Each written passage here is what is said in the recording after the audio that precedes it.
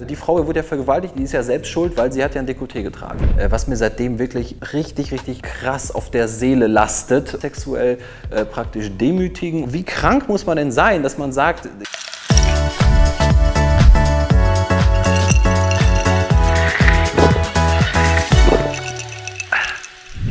So Freunde, euer Simon hier. Es ist Freitag, wir haben Thema Wissen und Lifestyle und heute ein Thema, ein wahnsinnig aktuelles Thema, was mir seit meinem Urlaub, ich bin frisch aus dem Urlaub zurück, äh, was mir seitdem wirklich richtig, richtig krass auf der Seele lastet. Und äh, ich habe wirklich erstmal überlegt, das nicht zu machen, aber ähm, weil es wenig mit Fitness zu tun hat, aber es hat sehr, sehr viel mit Social Media auch zu tun. Deswegen dachte ich, es ist so, so wichtig und besonders für mich so wichtig, dass ich es mit euch diskutieren wollte. Ganz, ganz wichtig. Ich sage euch gleich meine Meinung zu dem Thema und es gibt eben, äh, komme ich gleich drauf, andere Meinungen. Äh, und, und ich möchte es wirklich mit euch sehr, sehr respektvoll wirklich versuchen zu diskutieren und euch meine Meinung begründen. Und zwar geht es wirklich um einen Instagram-Post, den ich aus dem Urlaub gemacht habe.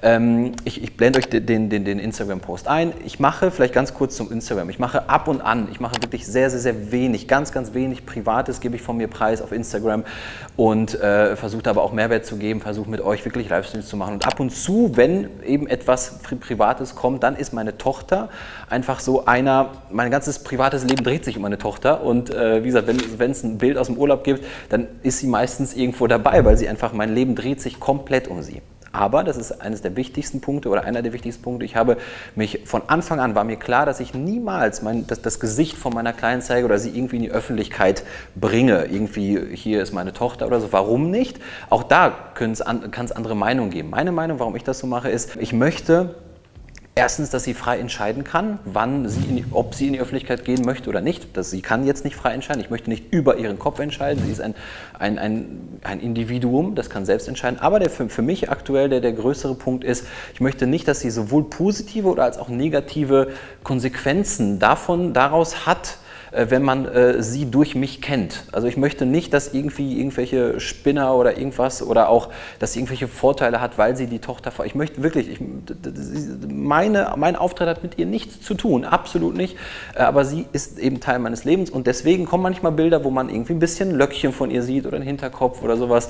Und ich äh, bin da sehr, sehr bedacht, eben bloß nicht äh, sie äh, praktisch kenntlich zu machen. Das ist, das ist mir ganz, ganz, ganz wichtig. So, und dieses Bild, zu diesem Bild kam wirklich, ich habe ich hab dieses Bild gemacht, weil man auch ein bisschen Körper sieht, man sah ein bisschen so meine Form im Urlaub, ich habe gut gegessen, ich habe gut trainiert und so weiter, dachte dieses Bild äh, und wie gesagt, dass ich auch mit ihr spiele und so, das ist einfach ein, ein so, so war mein Urlaub, so, der ganze Urlaub war so. Und dann ähm, kamen sehr viele, kamen Gott sei Dank sehr, sehr viele positive Kommentare, aber kamen wirklich viele und ich habe viele gelöscht tatsächlich, und einen habe ich stehen lassen. Den einen äh, zeige ich euch gleich. Äh, ich habe viele Kommentare gelöscht, die gesagt haben, Simon, spinnst du? Also wirklich auch leider äh, anonyme äh, Leute und so weiter, die habe ich dann wirklich direkt gelöscht, beleidigen. Die Simon, wie kann, also ich sage jetzt einfach mal, äh, äh, wie, wie, kannst du bloß so ein Bild posten?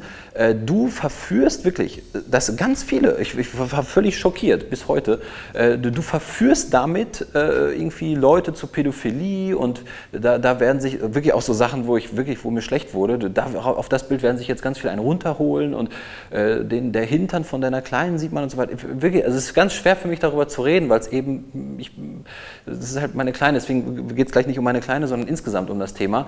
Ich war schockiert, ich war wirklich schockiert. Und dieser Kommentar, den habe ich extra stehen lassen, weil der war, der war respektvoll und freundlich. Und äh, geht aber auch darum, dass äh, dieser, äh, praktisch dieses Bild äh, verführt dazu zu pädophilen Gedanken und landet dann in irgendwelchen pädophilen Netzwerken und so weiter. Ich, ich, ich, ich kann das nicht glauben, äh, aber auch, was ich mit euch diskutieren möchte, ich kann das nicht verstehen, wie man so denken kann, wie, ich möchte respektvoll über die Person äh, irgendwie mich äußern, aber ich kann diese Gedanken nicht verstehen. Wie kann man, und jetzt, wie gesagt, geht es weg von meiner Tochter, wie kann man ähm, sie hat, es ist alles verhüllt, ihr Popo ist verhüllt und so weiter.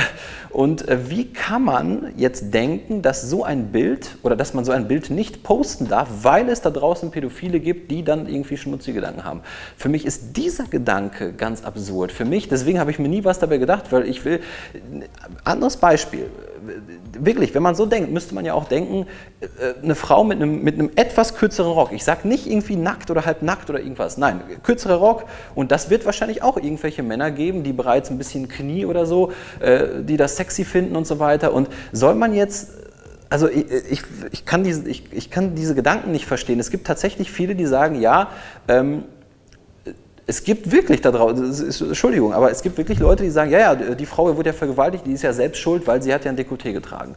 Oder ja, ja, die Frauen sind ja selbst schuld, vielleicht wisst ihr noch, diese, diese ganze Silvesternacht und diese ganze Thematik und so weiter, gab es auch viele, die haben sich ausgesprochen und wirklich die Schuld für, ich habe, das ist, das ist ein Thema, was mir wirklich, ähm, die haben die Schuld für eine Vergewaltigung, es gibt ganz viele, auch für sexuelle Belästigung und so weiter, gibt es wirklich viele, die dann sagen, ja, ja, was zieht die Frau sich denn auch äh, äh, irgendwie aufreizen an? Und wirklich zwischen, ich, ich, meine nicht, dass sie irgendwie sexuell da, keine Ahnung, da ihre, ihre Brüste rausholt oder so weiter, aber nein, aber wenn, genau wie bei dem Bild, es soll sich eine Frau nicht weiblich kleiden, weil, sie, weil es irgendwelche Vollidioten da draußen gibt, die das irgendwie animiert, sollten wir nicht viel, viel, viel mehr darüber nachdenken, oh Gott, lass uns bitte etwas dagegen tun, dass es, dass es solche Fantasien gibt. Lass uns doch bitte, hier ist doch das Problem. Das Problem ist doch nicht bei einer Frau, die sich leicht äh, ein bisschen, irgendwie ein bisschen Dekolleté zeigt oder einen Rock anzieht oder Kinder, die draußen spielen in einem Badeanzug.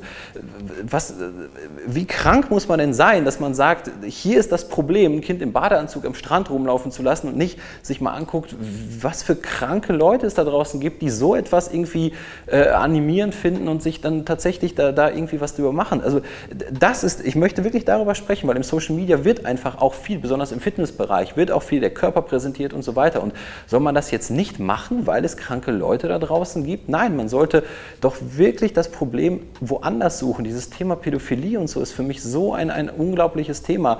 Ähm, schaut bitte, dass ihr hier das Problem seht, das ist doch, ich, mir sprengt das den Kopf, wenn man wirklich als Frau auch noch, und das ist kein Angriff jetzt wirklich gegen die Kommentatorin, aber bitte besonders als Frau so etwas zu sagen, nein, nein, nein, nein, nein, nein, nein. Ein Kind darf im Badeanzug draußen rumlaufen und eine Frau darf auch einen Rock anziehen, der nicht über, auch wenn jemand völlig übertrieben sich aufreizend anziehen will, das ist auch ihre Sache, aber ein Nein, wir dürfen wirklich einen, einen Minirock anziehen, wir dürfen kurze Ärmel und wenn es irgendwelche kranken Leute gibt, die bereits Knie oder ein Stück vom Bein oder äh, irgendwie ein Stück von der Schulter irgendwie anheizend finden, dann sollten wir uns eher um die Leute kümmern und nicht die Leute, die, die ein T-Shirt tragen. Ich finde es unfassbar. Mir hat das wirklich so diskutiert, bitte, aber bitte, bitte respektvoll, weil das ist wirklich ein Thema, was, was mich persönlich angeht.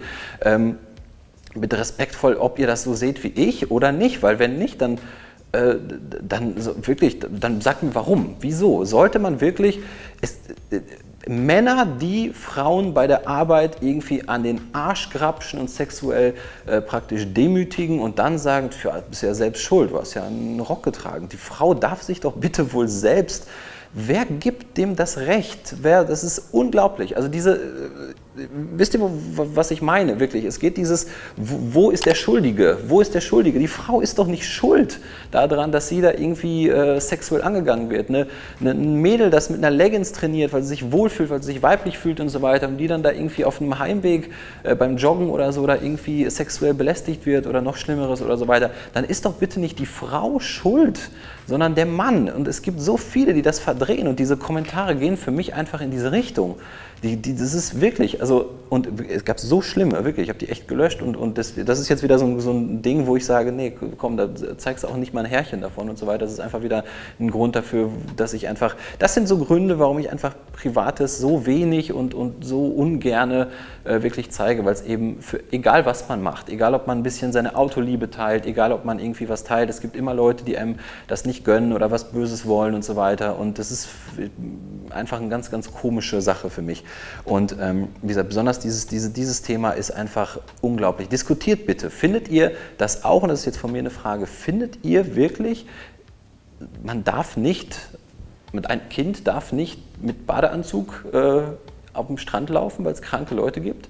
Oder darf eine Frau nicht irgendwie einen Rock tragen oder ein T-Shirt oder sowas? Und weil das, also, nee, wir sollten uns ganz, ganz dringend, ganz dringend, besonders äh, Richtung Politik, äh, wirklich ganz, ganz, ganz stark damit beschäftigen, äh, wirklich was, ich sag mal, gegen diese gegen Pädophilie, gegen Leute, die die Frauen nicht äh, wertschätzen und so weiter. Dagegen sollte man was tun und bloß nicht irgendwie anfangen, auf dieser Seite irgendwie da, was, also wo würden wir denn landen? Das ist echt, also so ein, Das ist echt, macht mich ein bisschen fertig. Diskutiert bitte, bitte, bitte, bitte respektvoll und äh, ich bin ganz, ganz gespannt auf eure Meinung. Wirklich ganz, ganz, ganz gespannt, ob ihr das anders seht, ob ich das jetzt nur so sehe und äh, würde mich da freuen, wenn wir da ein bisschen kommunizieren, weil das wirklich ein Thema ist, was mir seitdem so auf dem Herzen lastet. Äh, deswegen musste ich das jetzt einfach mal machen und äh, ja, abonniert den Kanal, meine lieben Freunde, bleibt dabei, schaut bei Facebook, Instagram vorbei. Montag gibt es schon wieder ein Trainingsvideo, also äh, für alle, die solchen Themen nicht interessieren, Montag geht es wieder weiter mit Fitness-Content.